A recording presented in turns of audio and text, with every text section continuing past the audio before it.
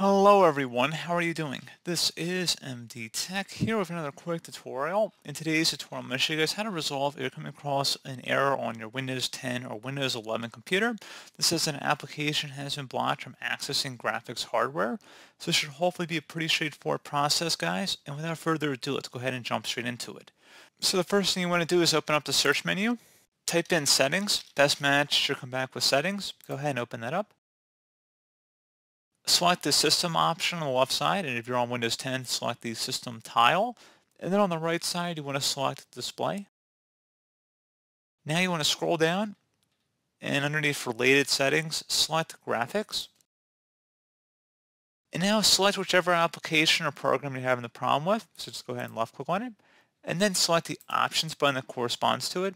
Once you're on that go ahead and select high performance and then you will select save once you're done with that, you should go ahead and close out of here and you want to restart your computer.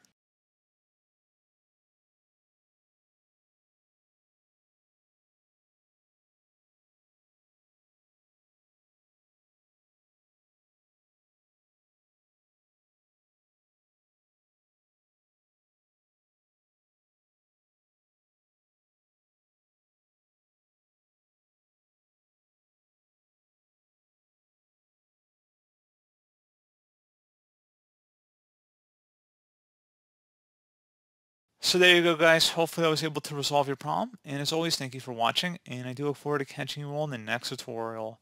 Goodbye.